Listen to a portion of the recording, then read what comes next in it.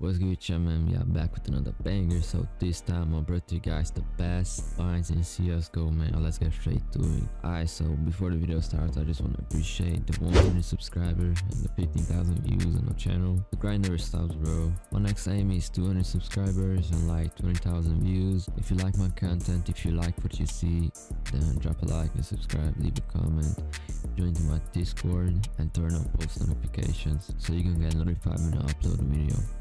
So if you haven't seen my previous videos, I will put everything in the description. It's in the playlist, you can check it out if you want to boost your FPS, if you want playing like stretched resolution, if you want the text mods, everything will be there. So you can check it out. Uh, the first thing that you need to do is set up the console.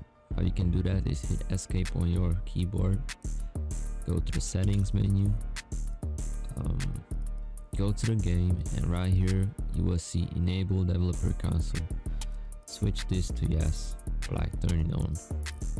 Next is keyboard and mouse. You need to scroll down and you will see toggle console right here. And put this on like a personal button that you can use make sure it's on something. Mine is at zero so i can open it with that button. So the number first bind is mouse wheel jump bind. This bind will cause you to jump whenever your mouse wheel is scrolled up and down. So if you want to learn how to b-hop this will help you. It's way easier than if you would uh, spamming spacebar. You just need to scroll up and down. So um, the bind is right here. Everything will be in the description. I will put all the binds down there so if you scroll down or you scroll up uh you will jump. So it's gonna be way easier if you want to bunny hop like me. Number two is quick switch bind. A quick switch bind will switch to your knife and then quickly back to your weapon when the binded key is pressed. So for this bind um it's bind q use weapon knife slot 1 you can change this to any button that you want but I'm using Q right now. Um, uh, so for the example, if you shoot with AWP, for example,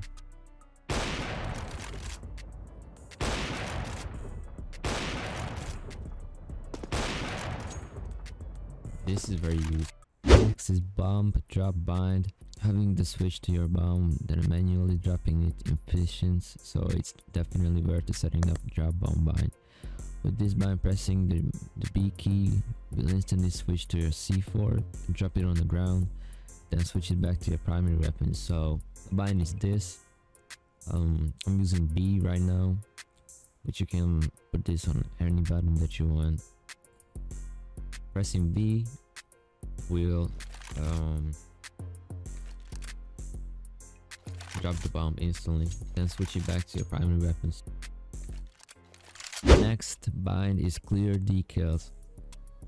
Decals are any effect added to the walls and ground of the map as a result of gameplay, blood, graffitis, etc. This bind will instantly clear all the binds when you're pressing the, for example, any key that you want. This is useful as it makes the things easier to see, for example, often blood on the wall makes it harder to see the enemies who is peeking in front of it.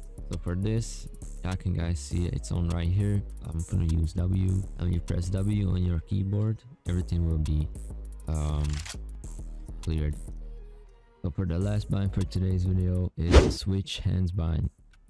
The switch hands will switch your gun position between your left hand and your right hand whenever you're pressing the bind key. Example, when you want to also watch a spot or side that the gun is covering. But some players report that they perform better when the weapons are on the opposite side of the screen. It is bind, any key that you want. I'm using Q. Uh, I'm using L right now. So L, toggle, CL, right hand, 0 and 1.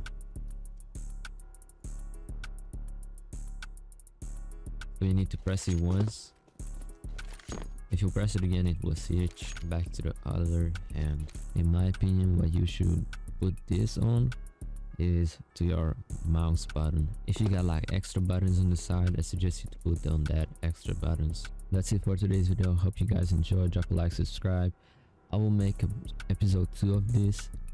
So make sure you stay tuned. I'm raining the mouth. Let's get it.